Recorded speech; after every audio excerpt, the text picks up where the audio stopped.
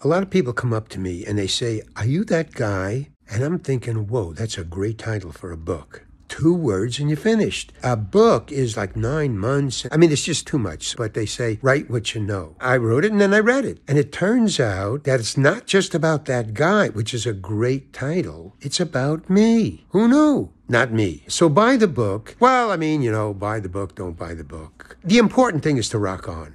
So, you know, rock on, buy the book, rock on, don't buy the book. You see what I'm saying? Between me and you, if you rock on and buy the book, you're better off.